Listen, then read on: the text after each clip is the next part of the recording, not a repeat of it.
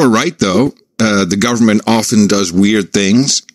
And the money honey asked if the Department of Justice actually has enough or if they're going to act at all. Well, if they don't, they're engaging in willful blindness because there is scads of evidence and testimony from any number of witnesses. I've lost count of how many they have. More pour in every day. I would encourage every American patriot who saw an irregularity such as a thumb drive being inserted into a voting machine during the tally and the tally The suddenly glitch. changing to massive pallets of ballots coming in the back door in the middle of the night, not properly handled at all, and, and just cranked out. I think there are hundreds of ballots that are even filled out in the same ink that were obviously manufactured. I mean, there is a ton of evidence that hundreds of thousands of ballots are going to have to be disregarded, and they're all for Biden.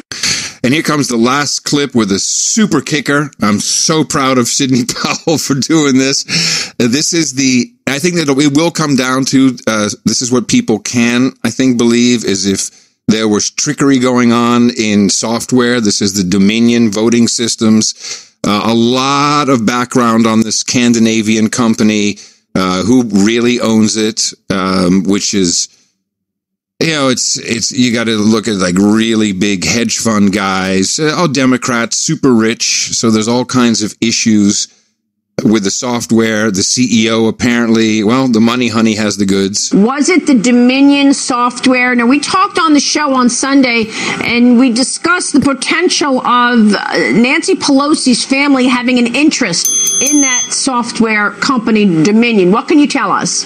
We are still investigating all of that and connecting the dots. There is a substantial problem with the Dominion systems because Texas even refused three different times to adopt and use those systems because they have inherent defects. Uh, one of our theories is that those defects were built in for a reason. There is Chinese software and other uh, components within those systems.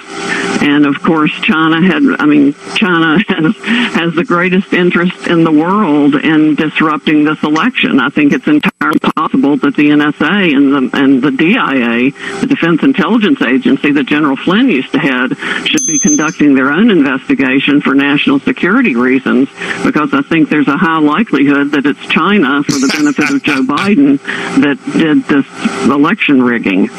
Yeah, she's just got to be crazy. She should be locked up. That Sidney Powell. She's should nuts. be. She's nuts. Not quite as Yeah. nuts uh,